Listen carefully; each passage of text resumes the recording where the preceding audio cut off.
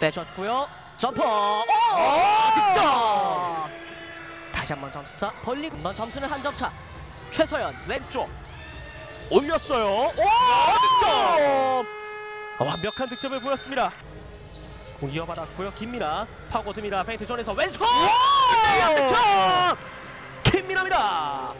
네, inbound 패스 이어가겠습니다. 외곽 빼줬어요. 김민아 석점.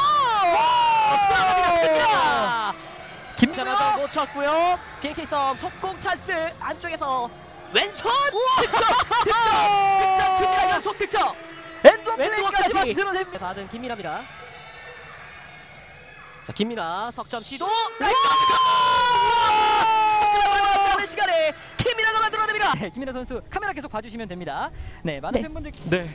감사합니다. 아, 사실 댓글로도 이 팬분들이 김민아 선수 귀엽다고 정말 좋다고 댓글을 많이 남겨주셨었는데요.